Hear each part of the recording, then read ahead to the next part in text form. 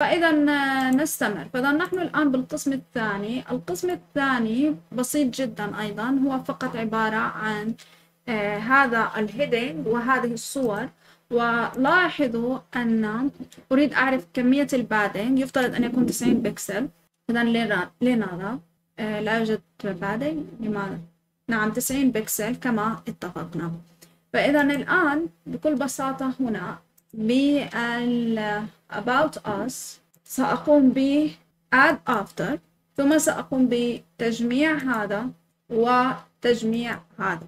فإذا هنا آه، اسم هذا الفانكشن آه، اسم هذا القسم سنسميه profile مثلا profile آه، أو images أو images. لأن فيه الكثير من الإيمجز وهنا سيكون اسمه images inner. والإيمجز الأولى لن نضيف لها هكذا. آه هنا لاحظوا بالنسبة ل about us نحن أضفنا آه عنوان أيضا هنا فيمكن أيضا أن نضيف هنا عنوان. فإذا هذه الفقرة تكون عبارة عن عنوان ونعطيه theme heading والكلر سيكون هو هذا ونضيف العنوان مثلا نموذج من أعمالي. إذا هذا هو العنوان. طبعا نحن نستخدم RTL فهذا العنوان يجب أن يكون هنا ولدينا هنا مجموعة من الصور. فبالتالي هنا إذا قمت أنا بأد after جيد. آه، هنا سأقوم بتجميعها إذا أو مجموعة. وفعليا هي يجب أن تكون أعمدة لكن أنا بداية سأضعها ك آه، images container. وهنا سأضيف أعمدة بداخلها وثلاثة أعمدة. وسنضيف هنا صور. صورة جيد. ومن مكتبة الوسائط سنضيف الصورة مثلا. نبدأ هكذا صورة. جيد. وهنا أيضا سنضيف آه صورة. وأيضا من هنا أيضا سأضيف صورة. جيد. الآن يمكن أن أكرر هذه الأعمدة حتى تكون آه، شبكة مثلا تكرار. وهنا أغير الصورة استبدال. آه سنختار هذا. وهذا استبدال. وهذا أيضا استبدال. واضح؟ إذا ممتاز. إذا قمت أنا بالحفظ إذا لاحظوا إذا هذه هي نموذج من أعمالي. إذا ممتاز. طبعا نحن نسينا ال padding فيمكن أن نضيف ال padding الآن في الأعلى من image container. إذا هكذا.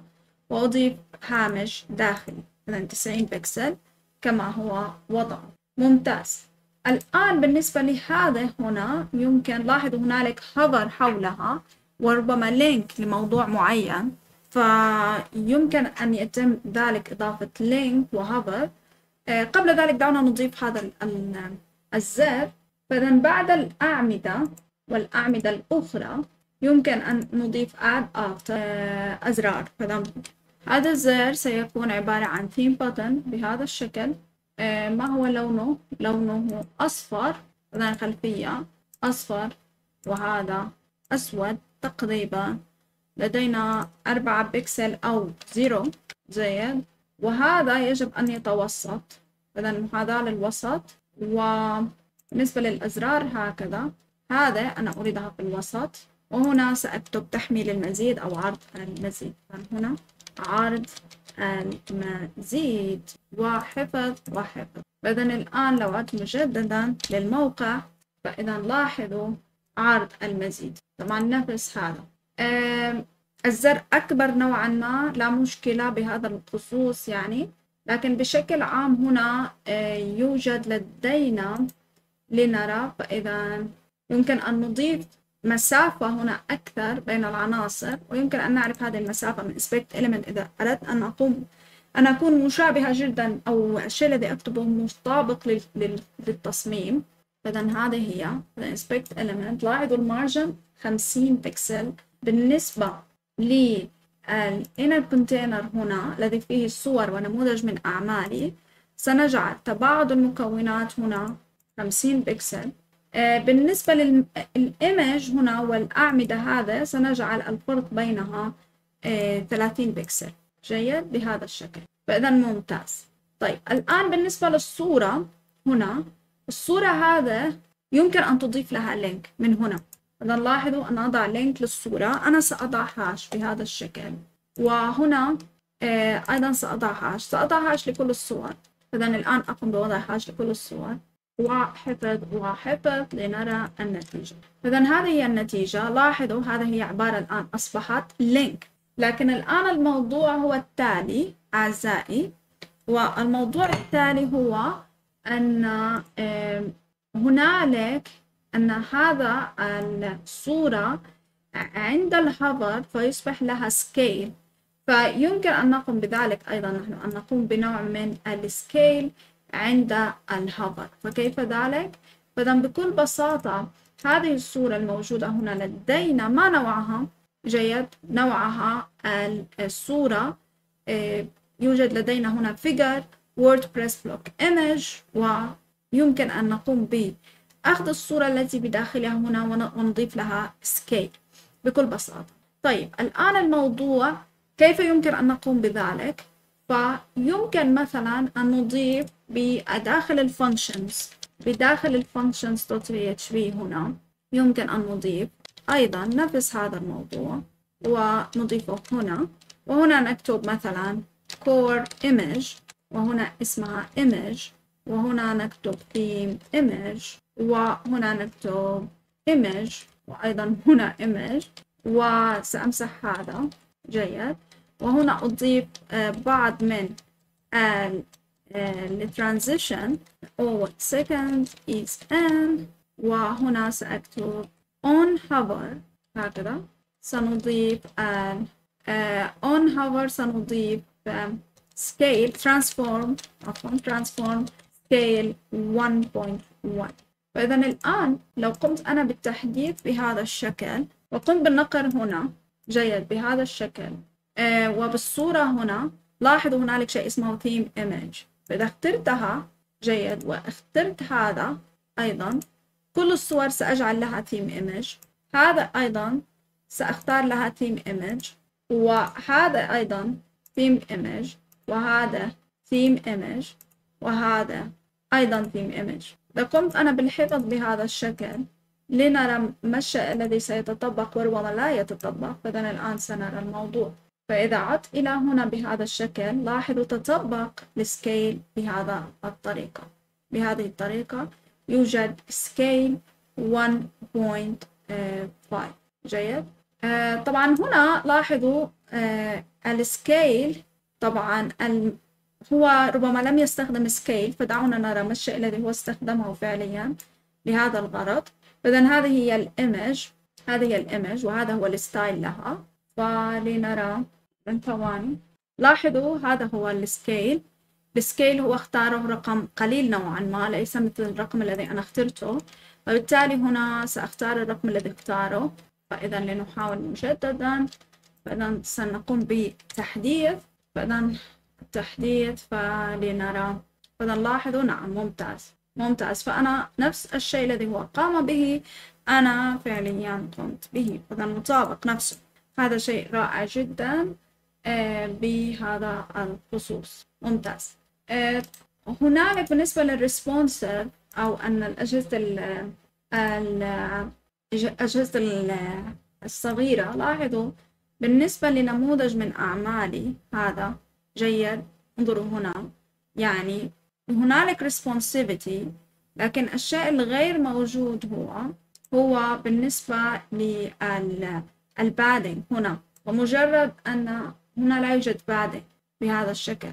فكيف سنقوم بإضافة هذا ال padding فبالنسبة لهذا يجب أن نذهب لل theme.json وب theme.json تأكدوا أن هذه الخاصية موجودة. Use root padding aware alignment. True. تأكدوا من وجودها. الموضوع الثاني هنا بداخل ال styles هنا. فيمكن أن نكتب الشيء التالي. بداخل ال style سنكتب spacing وهنا بداخل ال spacing سنقوم بكتابة padding جيد.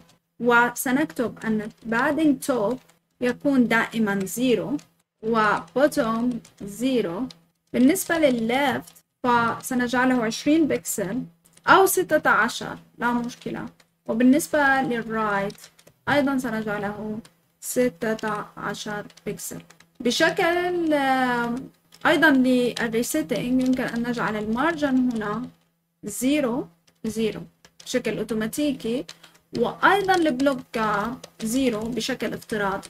جيد؟ فإذا الآن لو قمت أنا هنا بالتحديث فإذا لاحظوا اختفت هذا هذه الأشياء اختفت. هنالك بعض الأشياء ال block gap الذي لم أحدده أنا.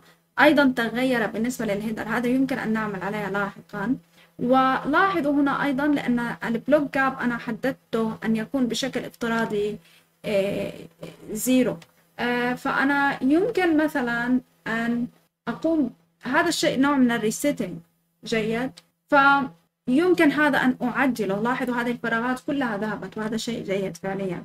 لأنني أنا كنت أنتظر الوقت المناسب حتى أخبركم كيفية إلغاء هذه الفراغات. فالآن دعونا نحدث هذه المواضيع. بالنسبة للبلوك جاب هنا يمكن أن نضيفه آه، فكيف ذلك؟ فمن ذهبنا إلى أعمدة من هنا أعمدة. وذهبنا هكذا. فلدينا هنا block gap تباعد مكونات فال block gap اللي نرى هو ما هو ال block gap الذي وضعه هنا؟ فإذا هذه الصور. فإذا لاحظوا هو كل div فيها 30 بكسل 30 بكسل أعتقد ال block gap وبالتالي هنا سأضع ال block gap 30 بكسل. وأيضا بال بال بالعمودي 30 بكسل. عمودي أفقي 30 آه، بكسل. آه، بالنسبة ل الآن سأغير الباقي بعد قليل لكن دعونا ننتهي من موضوع موضوع ثم سنقوم بالتعديل الأشياء الأخرى. إذا لاحظوا الآن أصبح لدينا block gap إذا هنا لم أحدد ال block gap على الموضوع الثاني فيمكن أن نحدده بنفس الطريقة. إذا أعمدة وتباعد مكونات 30 بكسل 30 بكسل وحفظ حفظ وتحديد لاحظوا؟ إذا ممتاز. فإذا هذا القسم فعليا انتهى فعلينا أن نقوم بجعله بإضافته كنمط ونضيفه للوحة الأم ثم نعدل الأشياء الباقية. فبكل بساطة سنذهب إلى ال patterns مرة أخرى. سننسخ أي واحد لدينا مثلا about us. سننسخه ونسمي هذا uh, uh, images. وثم سنقوم بالذهاب إلى هذا. وهنا سنكتب images و images. وسأمسح هذا. وأذهب إلى هنا. وأقوم باختيار هذا. ونسخ. والآن اللصق طيب أوكي. الآن كل إيمج يجب أن أمسح منها ماذا؟ أمسح منها آه كل image يجب أن أمسح منها ال ID مثلا هنا لدينا ID يجب أن نمسح منها ال ID ويجب أيضا أن نمسح منها آه، كل شيء بداخلها حتى نجعل هذا الموضوع قابل للنقل للمواقع الأخرى. فإذا سأطبق هذا على كل ال images الموجودة.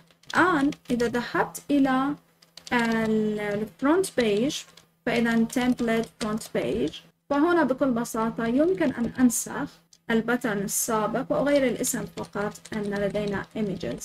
جيد؟ فإذا بهذا الشكل. الشيء الذي يمكن أن أقوم به أنا فعليا لا أريد التخلي عن هذه التغييرات التي قمت بها. فيمكن مثلا أن أقوم بجديد مثلا إضافة مقالة جديدة فقط حتى أتأكد أن النمط الذي قمت به يعمل. ولا يقول لي إصلاح المكون أو كذا. آه، فهنا سأبحث عن هذا النمط الذي اسمه images. إذا ها هو. لا ليس هو.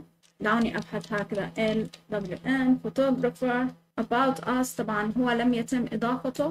لماذا؟ تصفح الكل. ها هو. ها هو موجود. فإذا قمت أنا بتحديثه بجلبه لاحظوا لا يوجد أي مشكلة به وهذا الدليل أن عملي صحيح مئة بالمئة.